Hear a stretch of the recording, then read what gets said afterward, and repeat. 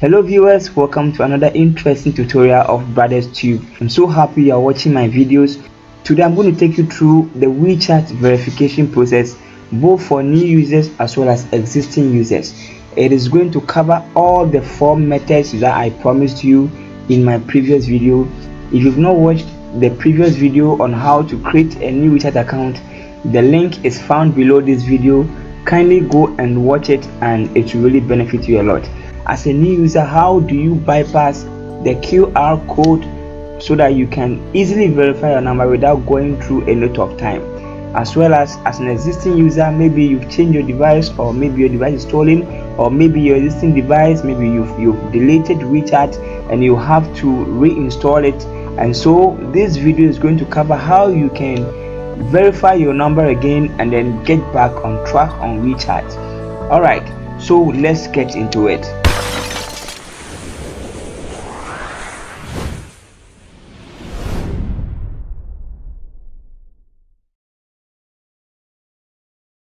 Let's start with how we can bypass the QR code as a new user so that you can easily verify your number without letting anybody to scan your QR code for you.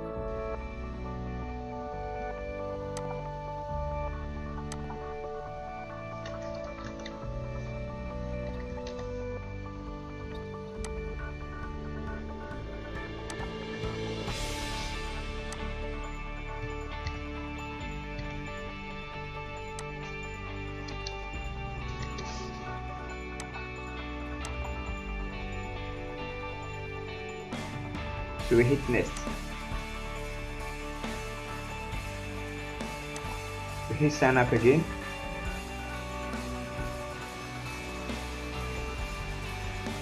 Very good. As a new user you're supposed to undergo this security verification. But as i said this process is going to help you to bypass the qr code that you're supposed to make somebody scan for you. And this process is very simple and we are going to bypass the qr code and it will give you a different way of verifying your number. That is by sending an SMS code to your number. So you don't have to think about any QR code scanning. Let's follow with the process. We hit start verification. The first step in the verification process is for you to drag this slider to fit into this puzzle. And this is where the whole trick is. If you're able to work out your way here very well you'll be able to bypass the QR code as soon as you are able to fit the slider into the puzzle piece and then you see the screen quickly disconnect your internet connection turn off your data and then let the security verification load into error. And in this case the error that will show is server busy. When there is no internet connection it will load and say server busy.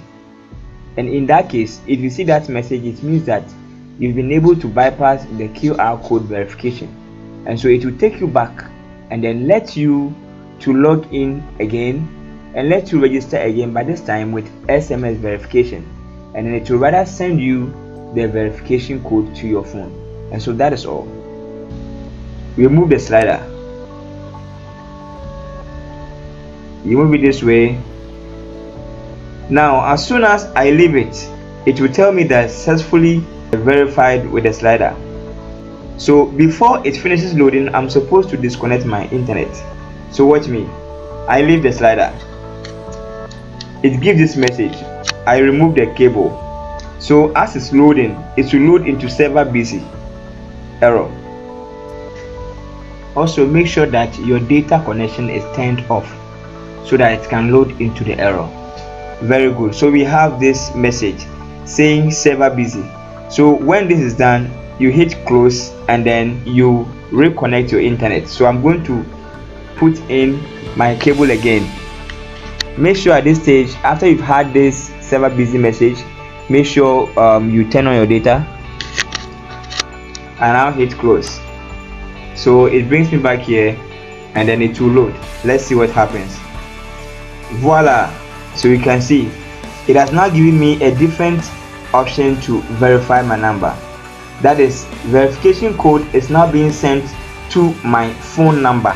And so as i receive the verification code i just what? Enter the verification code and that is all. Voila.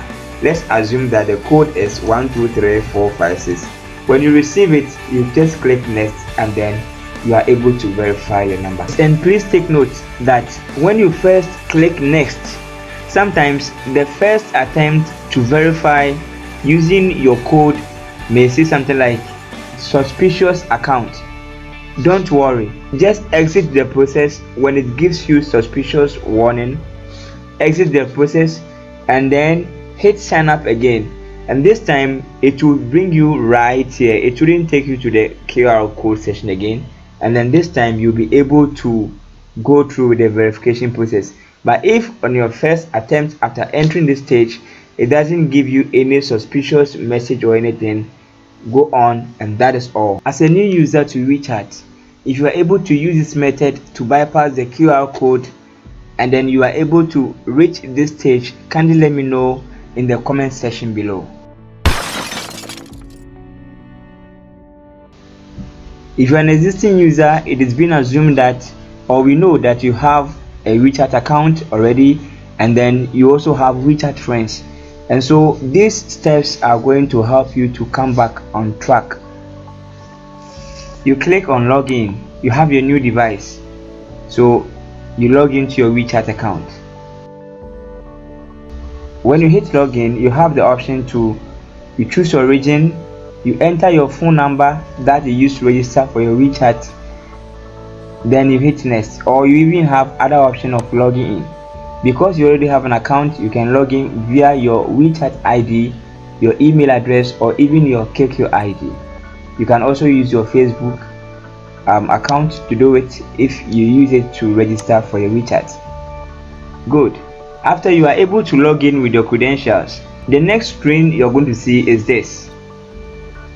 They'll ask you to verify your account and this is what I'm going to discuss with you. So you hit start verification. When you click it you are likely to see these options.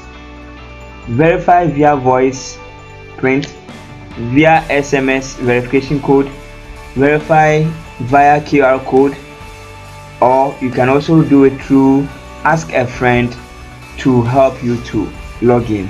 And so i'm going to take you through these steps one by one. So let's first go on with the ask friend to verify account using the help friend login. If you're an existing user this is an option for you and it's very very helpful. When you choose this option WeChat will give you six digit code. And all that you have to do is that your friends that you had on WeChat you call them you can either message them or you can call them on phone voice call and then you give them these six codes that WeChat will give you. And then you tell this you tell your WeChat friends to send this code to your WeChat account because you are now logging back in. So they should send this code to your WeChat account to help you to verify. And when you get about three or four of them to do it for you then you can easily get verified. And that is very simple so when you've gotten about three of your friends sending the code that WeChat gave you um, sending that code to your WeChat account automatically when you hit refresh your account will get verified and you receive the notification verified successfully.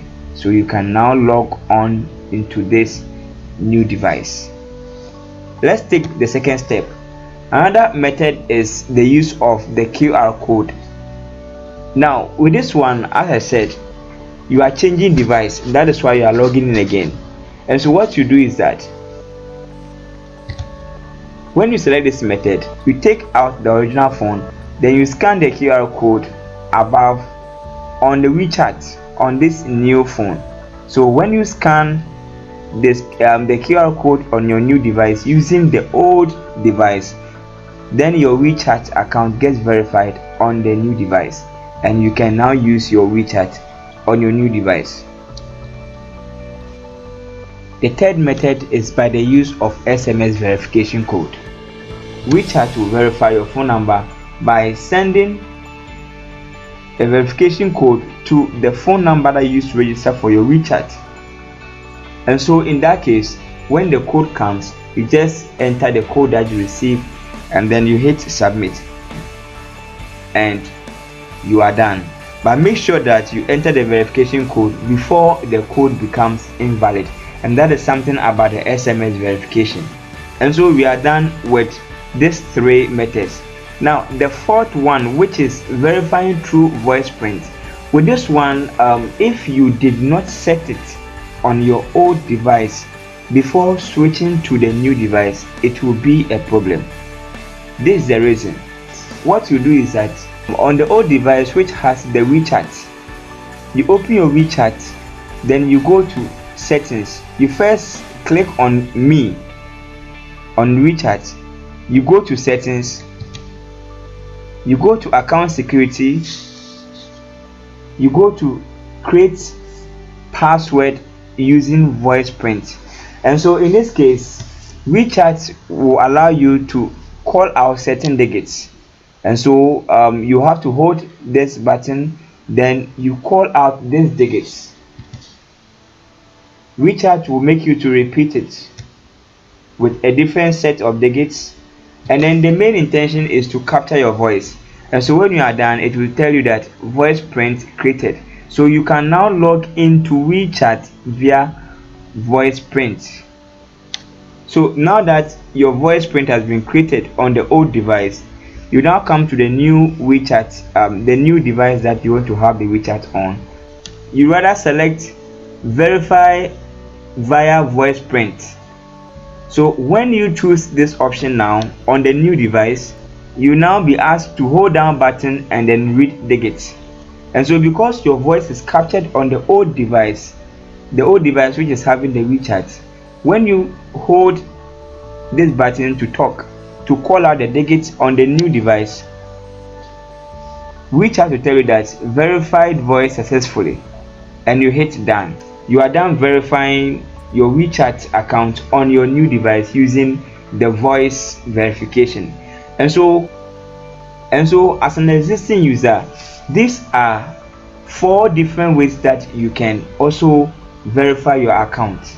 Recently WeChat has also introduced another way of verifying that is by facial recognition. So sometimes you wouldn't see verify voice print. You may also see facial recognition.